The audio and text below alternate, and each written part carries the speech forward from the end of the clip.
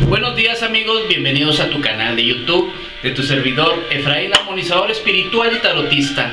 Hoy vamos a ver un ritual de qué es lo que debemos hacer cuando tenemos nuestra cartera y para que no se nos vaya rápido el dinero. Todos, la mayoría de las personas pues tenemos lo que es la cartera. ¿Qué debemos poner en una cartera? Muchas de las veces para que nos rinde el dinero. Número uno, siempre tenemos que tener una moneda color dorado el dorado tiene, el, el dorado tiene mucho el reflejo para atraer la cuestión económica y hacia el dinero. Puedes ponerla en tu cartera, pero antes podemos poner un ritual, ya sea un spray, puede ser ritual en cuestión de spray de San Miguel Arcángel. Abres tu cartera y pones lo que es tu moneda. Otra, otra simbología básica viene siendo la canela. Esta también es muy común para tanto en negocios o lo puedes poner también donde tú dejas el dinero, tu caja registradora. Canela.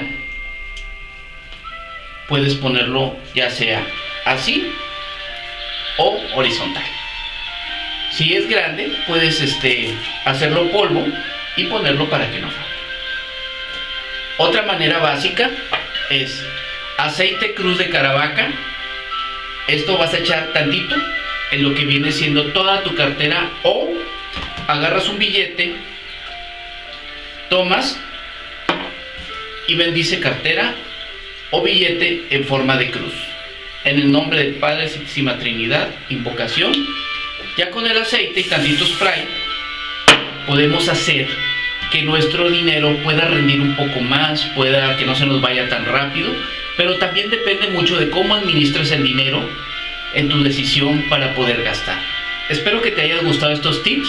Igual te pido por favor suscríbete al canal e igual te pido un like. Mil bendiciones, nos vemos próxima transmisión en tu canal de YouTube de tu servidor Efraín Armonizador Espiritual. Y gracias a nuestro patrocinador Herbario San Pedro que estamos ubicados en Monterrey, Nuevo León. Mil bendiciones. Hasta pronto.